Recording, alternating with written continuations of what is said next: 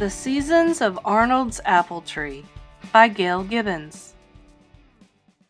Arnold climbs up high into the branches of the apple tree. He can see far, far away in every direction. This is Arnold's very own secret place. This is Arnold's apple tree. Arnold's tree keeps him very busy all through the year. It is spring.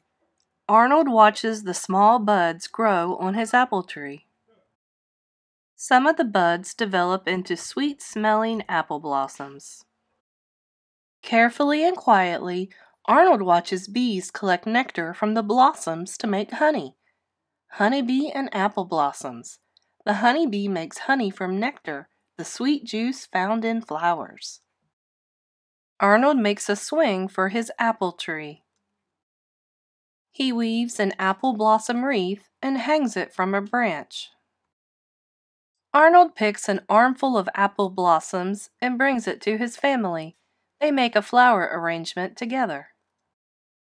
It is summer. Arnold's apple tree has big green leaves that rustle in the wind. Arnold builds a tree house. His apple tree shades him from the hot summer sun. Green leaves shelter him during a summer shower. Arnold watches small apples begin to grow from where the blossoms used to be.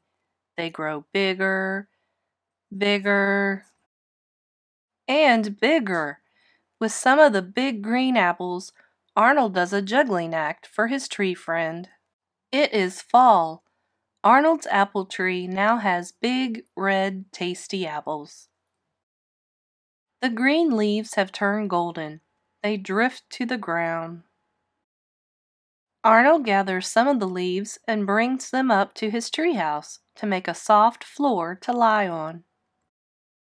Arnold shakes the branches and red apples fall to the ground. He puts them in a basket and takes them home. Arnold and his family make apple pies with apples from Arnold's apple tree.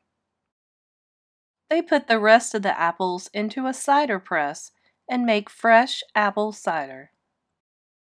On Halloween Day, Arnold decorates some of the biggest apples. They glow in the moonlight under his tree on Halloween night. It is winter. Snow falls. It is quiet. The branches of Arnold's apple tree are bare. Arnold hangs strings of popcorn and berries on them for the winter birds to eat. He builds a snow fort around the bottom of his tree. Arnold builds a snowman to keep him and his tree company during the winter. The snow melts away. It is spring again.